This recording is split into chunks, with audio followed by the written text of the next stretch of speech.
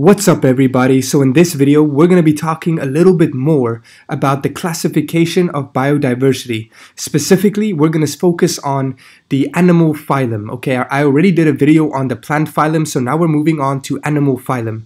Now, we know that we have so many creatures on Earth. Just look at this cheetah and the springbok, okay? We have so many creatures. Now, we need to organize them in a logical manner. So basically, all organisms on Earth can be categorized into one of three domains. So there's three domains, okay? And we know that all the animals, I mean all the eukaryotic organisms such as plant and animals, all the uh, organisms with eukaryotic cells will go under this category. Now, everything under this category category can can be divided into kingdoms. So, for example, the eukarya, all the organisms here can be divided into plants, animals, fungi, and protista. Now in this video, like I said, we're only going to focus on the animal part, okay, the animal part. So we can delete all of these. We're only going to look at the animals. Now, the animals can be divided even further into phylums, right? Because we know we're getting from more general at the domain to the most specific at the species, okay? So now animals can be divided into some phylums. So let's see what they can be divided into. We can divide the animals into these phylums, seven phylums, okay? Look at all these crazy, crazy names. And this will give you hell, I know that.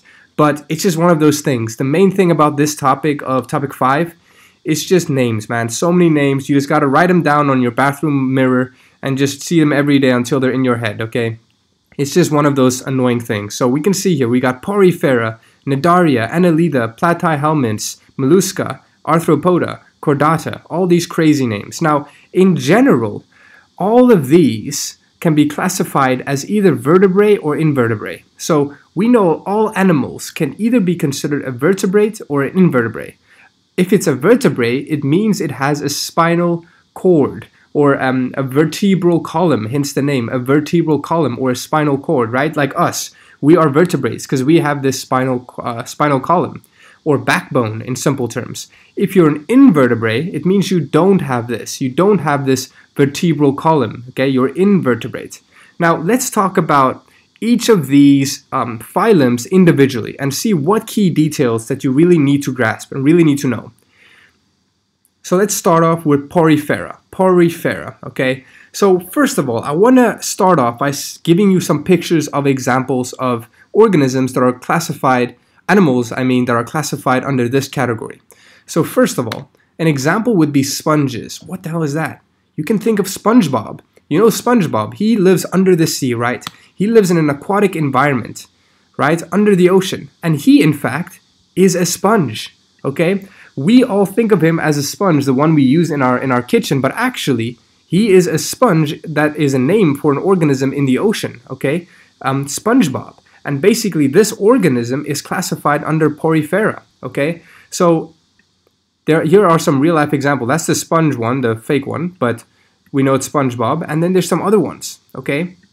And here's a drawing version, okay? So, these are organisms classified under Porifera. An example is sponges. There might be other examples, but we only need to care about sponges, okay? Just think SpongeBob.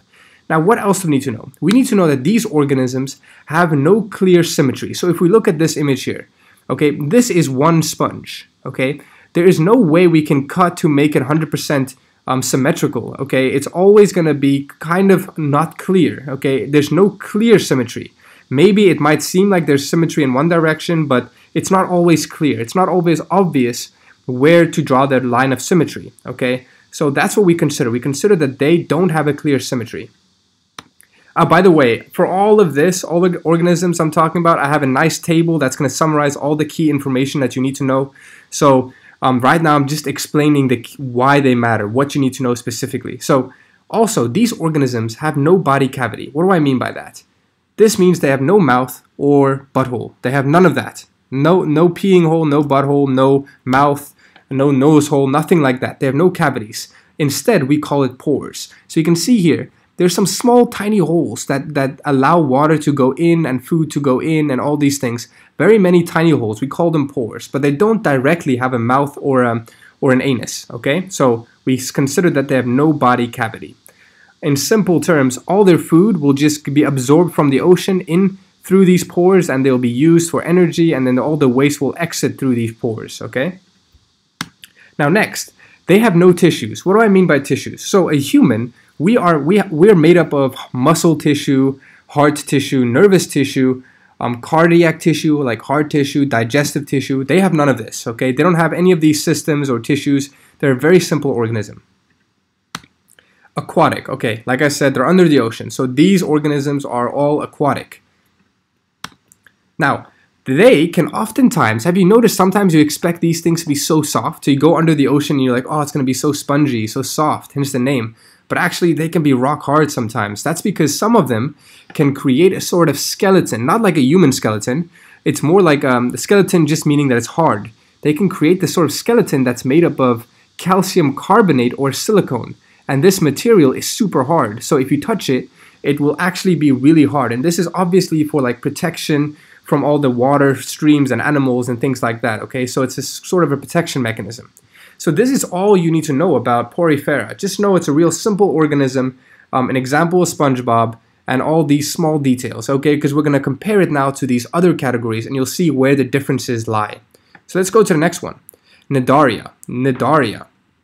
Okay, so again, first let's look at an example. Cnidaria include um, sea anemones, corals, and jellyfish. Okay, so again, these are some examples. There might be more, but these are some key ones that you need to know. So let me show you some pictures. So if we look at them, this right here is an anemone. Anemone. This is where Nemo hides. Remember, uh, uh, let me show you a better picture, a real life one. If you see Nemo, you know he hides in these things, these little hair-like things called anemones, okay? And this is also considered an animal, okay? Um, not a plant, it's an animal. It's, it's categorized under Cnidaria.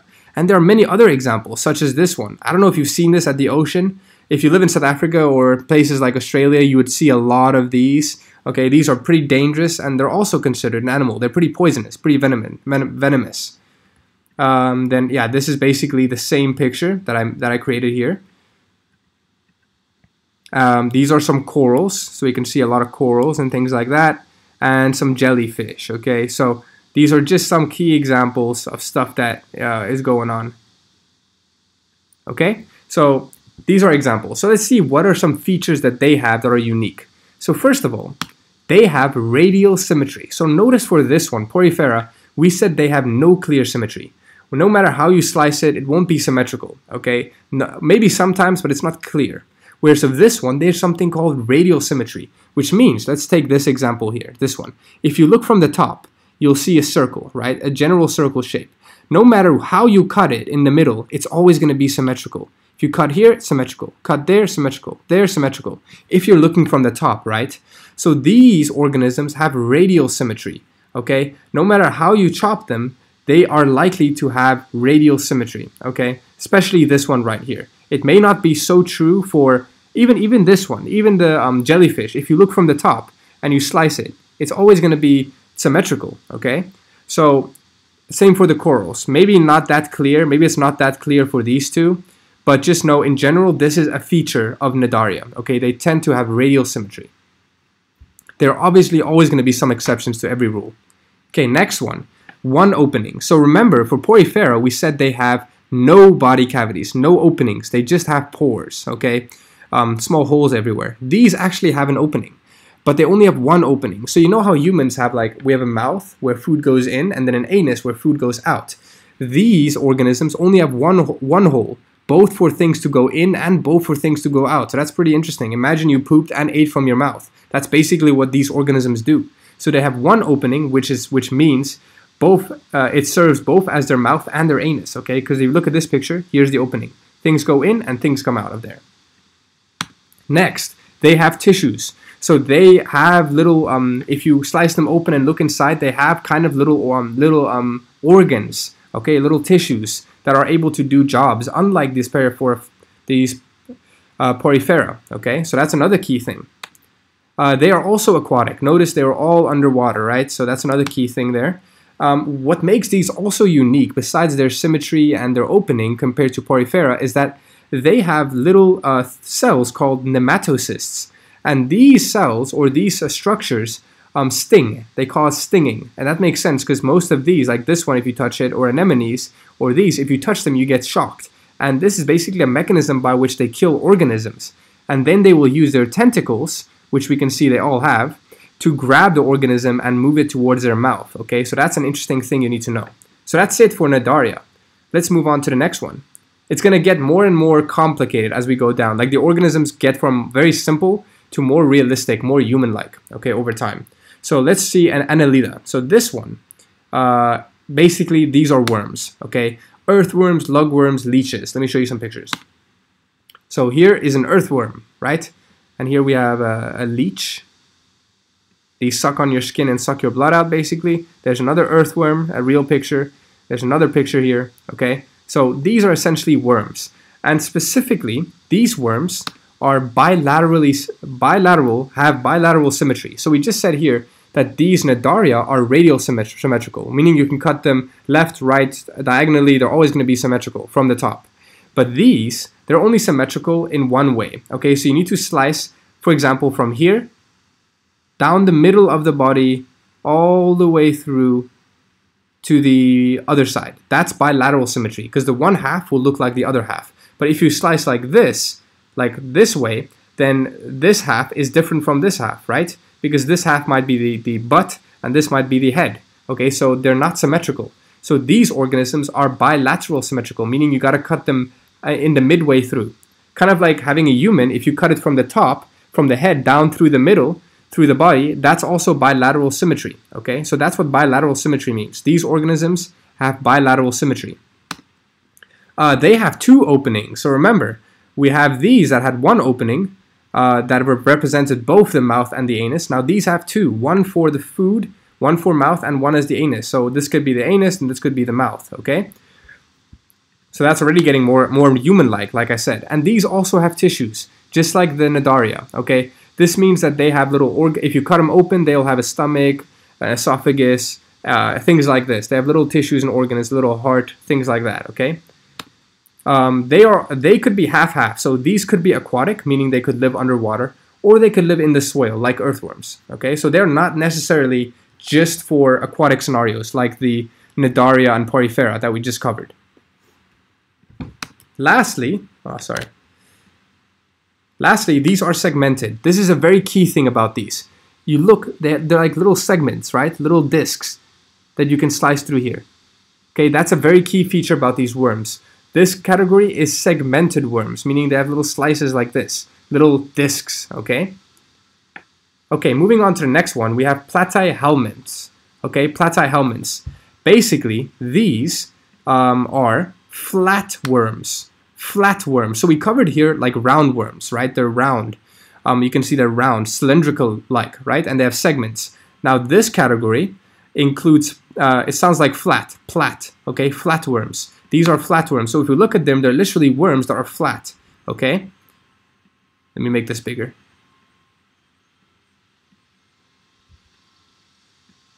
Okay, so you can see they're literally flat, okay? Now these are also bilateral symmetrical, meaning, again, if you cut them through the middle like this, or let's use this picture, if you cut them through the middle like this from the head to the toe, then they will be symmetrical. Both pieces will be um, symmetrical, right? They can fold onto each other. Now, the next one is, um, the next thing we need to know is that they also, unlike this one, remember this one had two openings, a mouth and an anus. Now this one here only has one opening, okay? One for the mouth and one for the anus. Okay, so both the food goes into here and the, the waste comes out of here. Okay, this doesn't, this is the eyes and all that, but their mouth is, they don't have a mouth. This is, everything goes out of one hole. Okay, so that's also unique. That's also a key difference between these uh, two worms, the platyhelminths and the annelida. Okay, next, they also have tissues. Again, that means hearts, digestive system, all this. Okay, they can be free living, aquatic, um, so they can be in the ocean basically, or they can live inside um, organisms. So, for example, these can be parasites. They can inv invade our body and live inside us. Okay, that's what a parasite means. So, these worms, for example, um, especially a tapeworm, maybe you've heard of this. This is an example of a flatworm. Oh yeah, that's a key thing. They are all flat, flatworms. Now, a tapeworm is like a flatworm that you can find, and sometimes it infects you, and it's like very long, like five meters long and it can be found in your body. And so when you find it, you can have serious stomach pain and all this, and the doctors have to pull it out. And it's quite disgusting because it's like a five meter long worm that you had inside of you this whole time. So that's pretty interesting. So they can also be parasites. Okay, so next, we're getting there, guys. It's pretty slow, this, but um, it's just a lot of annoying names and features that you need to remember. Okay, so mollusca. Now we're moving on to this third last one, mollusca. Now, what are these? So let's look at an example. These are small and large. They can be small and large organisms, such as slugs, snails, giant squid, and octopus, okay? So let's look at some pictures again. So we have a snail, okay? We have this here, octopus, or uh, squid, uh, and then we have another snail there, real picture. So these organisms are also bilateral symmetrical. So if we take the organism, we slice it through half, both sides will be equal again, okay?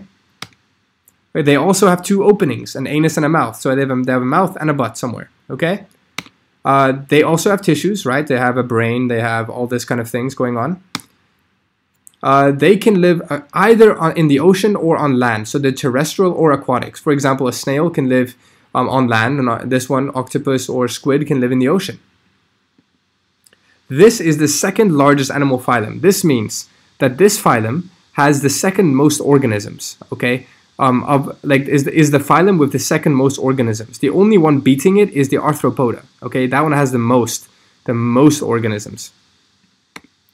Okay, and sometimes, not always, these organisms could also have. Remember, we we talked about it for Porifera. The Porifera could have a, a skeleton uh, that that is created by calcium carbonate that makes it hard, right? Now, same with these. These organisms, for example, a snail, can make a shell, and the shell could be made up of calcium carbonate as well. And this is hard, helps protect it, right? So it can hide inside when another organism tries to eat it. Okay, that's it for mollusca, okay? Um, let's move on to the next one, arthropods. So we're getting now to the um, kind of kind of creatures that no one likes, okay? So these include scorpions, spiders, and things like that.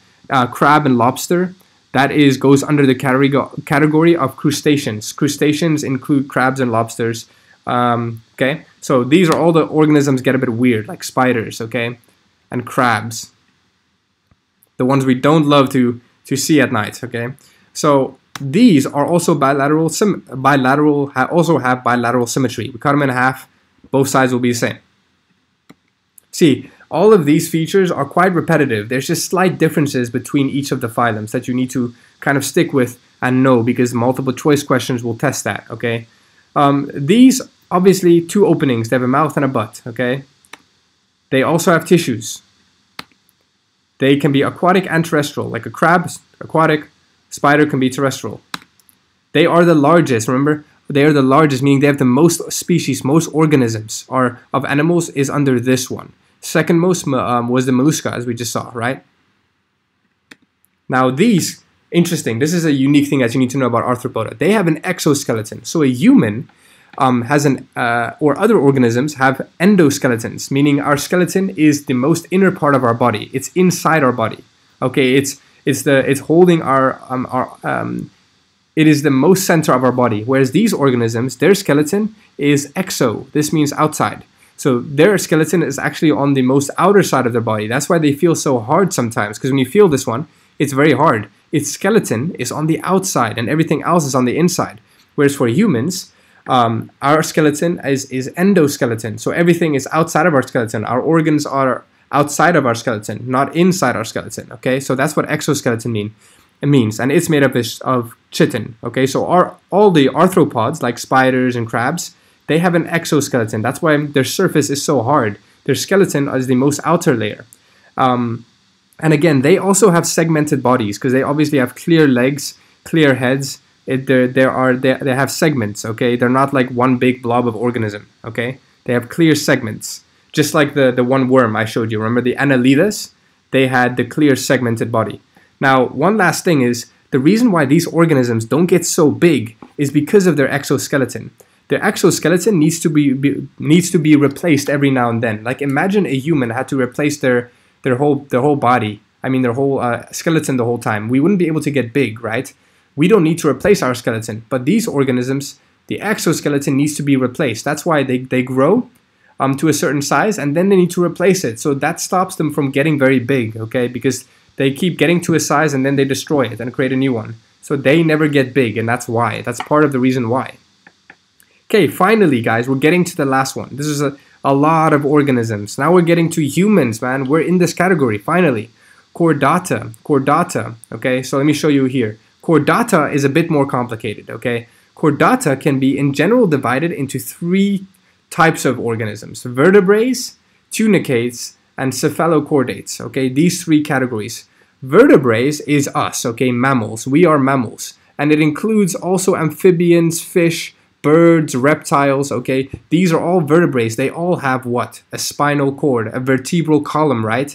Now, another category of the chordata is tunicates. These include sea squirts and salps. You can look up some images. These look pretty interesting. And um, and then also the last one, cephalochordates. These are super small organisms, super small organisms, also known as lancelets. Again, look up some images if you want to know more about this.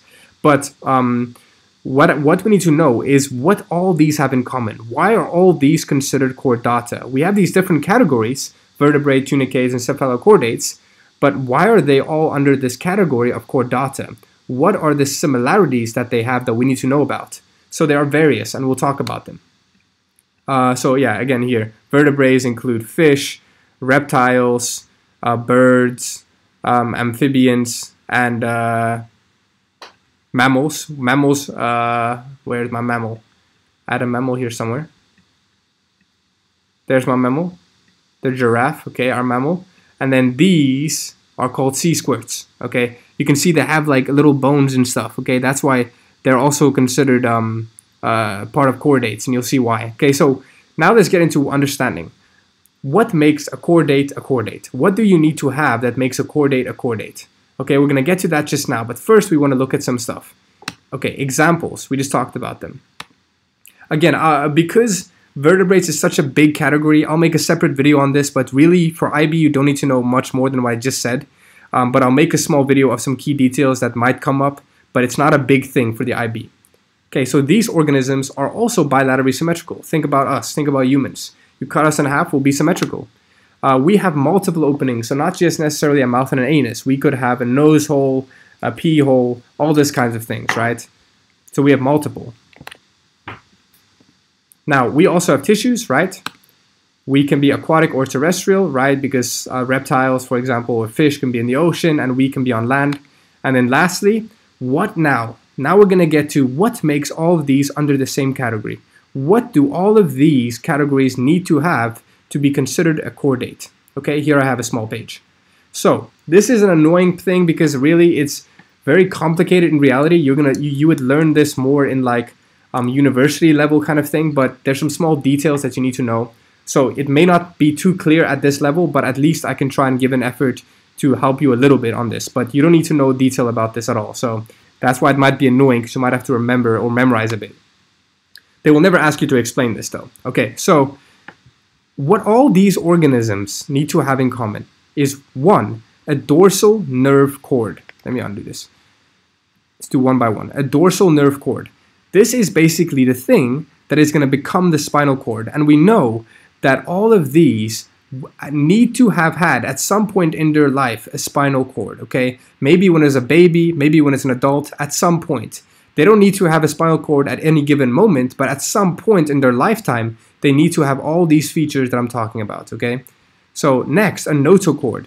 This is also a little cord. So for example, this is this is basically a picture of what it looks like before it's developed. Okay, all of these organisms, all of these chordata originate from this kind of organism, okay, this kind of embryo. Okay, so we can see here this one is the nerve cord, this becomes your spinal cord, and then this is the notochord, which will become which is basically the thing that we don't have right now as adults, but um, as at least humans. But when you're an embryo, you have this notochord, and it helps to um, make sure that you're going to be symmetrical when you grow up, so that you don't have one massive arm and one small arm, and so on. This thing helps for symmetry. And then next, post-anal tail. So humans, we don't have a tail, but we have a tailbone, right? We can feel it. Dogs, for example, have a full-on tail. So all of these organisms all of these must have had at some point a post-anal tail, okay? And it's uh, obviously for fish, it's used for swimming. For a thing like a dog, it's used for balance. And then last one here is pharyngeal slits, okay? These are little slits like this and this is um, the place where your mouth and um, stuff will um, will form from. Okay, so this is obviously an embryo, meaning it's not developed yet, but all of these things will. So this one will turn into your spinal cord. This won't turn into anything. It's only present in the embryo. This one will turn into your tailbone or a tail. This one will turn into your mouth or your um, lungs, like your your your breathing mechanism. Okay, so you need to know that these four things is what all organisms all these organisms had at one point in their life okay? At one point at their life in their life at least. And they all kind of form from from this structure at some point okay? So we all have come from this essentially. So here is um, a nice summary table that includes all the key things that you may need to know.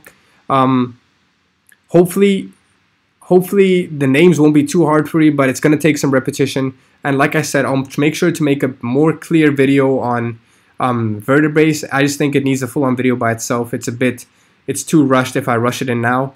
Um, but like I said, don't worry about this one. You don't need to know much at all for the IB about this. Just know that it's under the category of chordata. Okay, so that's it for animal phylums.